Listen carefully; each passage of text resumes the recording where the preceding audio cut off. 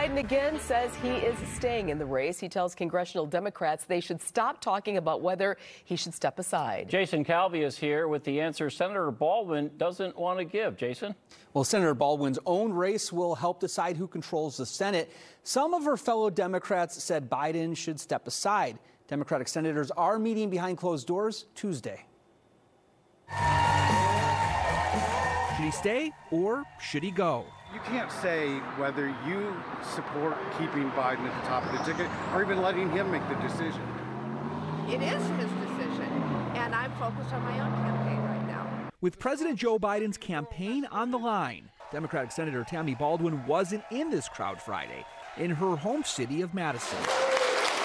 Instead, she was nearly 200 miles away in Marinette County a reporter asked for her thoughts on whether Biden should stay in the race. I'm focused on making sure we have a path to so victory. when we ask you this directly, you're not going to answer the question. Look, it's not my decision. The Democratic senator is polling better than the Democratic president. The latest Marquette poll of Wisconsin voters found a tied presidential race in a two person matchup. With third parties on the ballot, President Biden is behind by three points.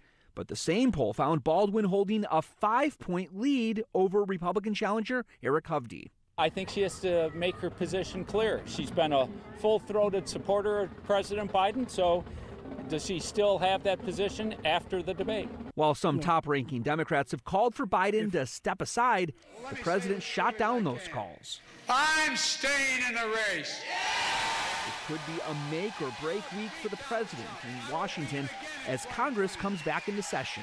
Now, the president writes congressional Democrats, quote, the question of how to move forward has been well aired for over a week now, and it's time for it to end.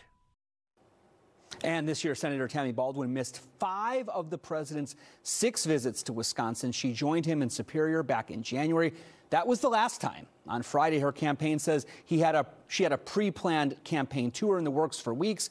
For the others, her campaign told me she was back in Washington doing her job as a senator. Ted? Jason Calvi, thank you.